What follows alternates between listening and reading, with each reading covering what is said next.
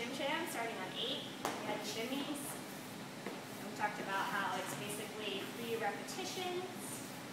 And then do the full break. Step, touch, step, touch, walk, walk, walk, walk. Then we do the pushes.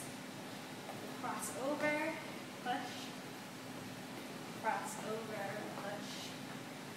And then repeating crossovers straight into Tacky Annie. Stop off. Three times. And on the third time, instead of stopping off, we go straight into the break step.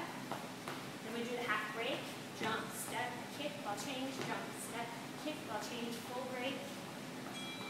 Half break again, jump, step, kick, ball change, jump, step, kick, ball change, full break. Repeat the freezes instead of the full break. Then we go into the boogie backs. And boogie forward. Repeat.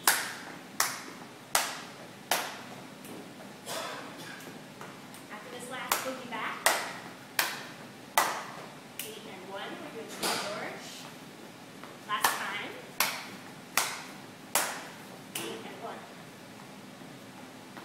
Then you turn to the person near you and you dance with them and